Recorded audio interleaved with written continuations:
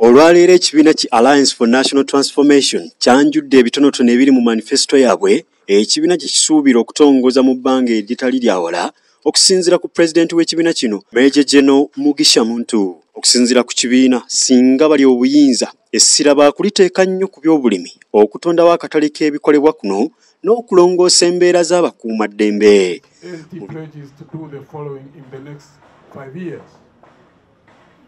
concise points in the manifesto entail fundamentally certain actions to take once we assume political power after successful elections 2021. Pledge to usher a new culture in the politics of Uganda. The culture is value-based, integrity-laden, fosters peace and reconciliation, equitable socio-economic development, and catering for the well-being of the people. Eh, mu birala mulimu okukuuma obutonde bw'ensi okwongera ku mutindo gw'ebyenjigiriza n'ebirala. Governance. The most fundamental challenge of uganda are leadership transition reinstatement and restoration of presidential term limits economy. To ensure the entire agriculture value chain is established and done in, on key products develop transport infrastructure, railways, marine services, air cargo, and airline. Enhance tourism and its facilities, ensure prudent management of oil, gas,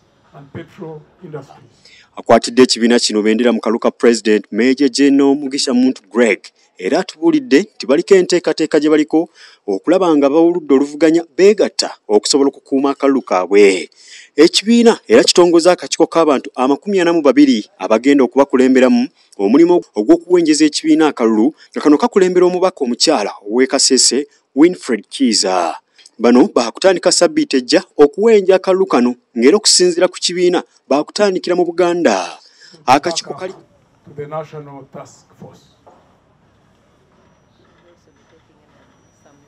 And uh, also we envisage expansion and more so at the sub-regional and the district levels.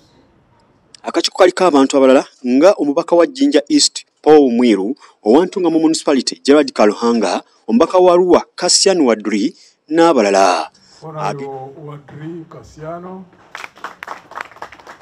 Honorable